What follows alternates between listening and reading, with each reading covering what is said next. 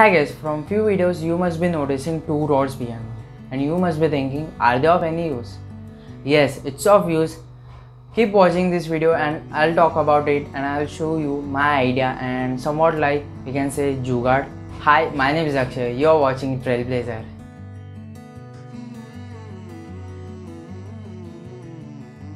First, let's see towards my idea. What was in my mind? The idea was to have a stand from which I can shoot overhead shots for my video.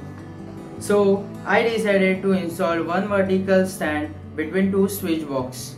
But the problem was that the table below the stand was not in line. So I modified my idea and came to an conclusion.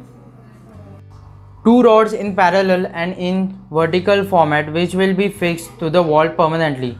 The third rod will be in horizontal format which will work as y-axis and the last rod will be perpendicular to third rod uh, which will act as x-axis.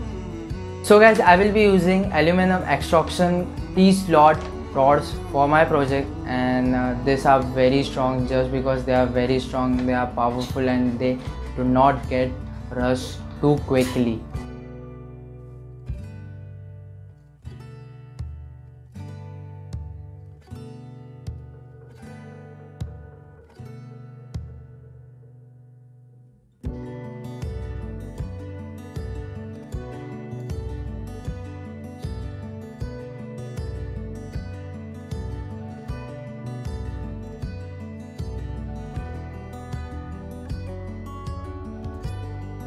So guys the main reason for what I decided to make this idea into reality is just because these rods have nut sliding mechanism built in it which is the key point of this project that means I can move my any rod left and right however I want and just with an element.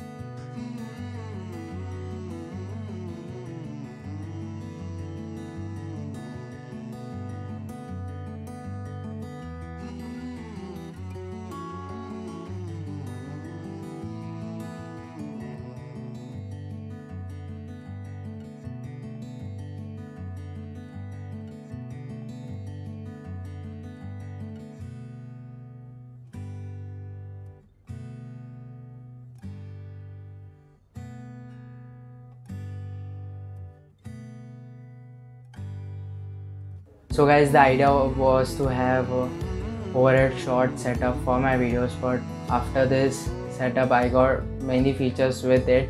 I can get multiple shots with this particular setup. I can add any camera of canon and sony and i can also use light as i need on it. And with that said we'll end this video over here only. And if you like this video then make sure you are liking the video and subscribe to my channel and hit the bell notification so that you will get my latest video updates on your phone when I'm on YouTube. And most important thing guys, thank you for watching.